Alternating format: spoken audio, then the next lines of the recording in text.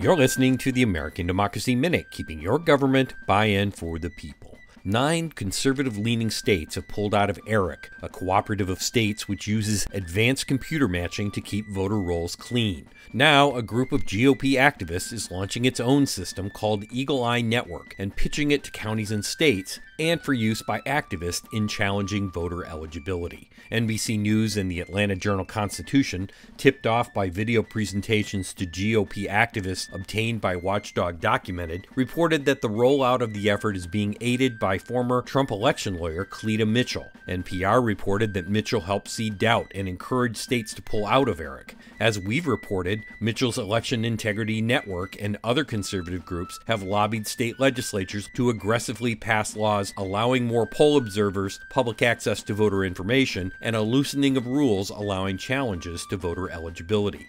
The founders of the Eagle Eye Network, spelled Eagle AI, were recorded pitching the system to activists, specifically mentioning that the system would flag the eligibility of voters at homeless shelters and nursing homes, according to NBC. One of Eagle Eye's founders says the group is in talks with Georgia counties.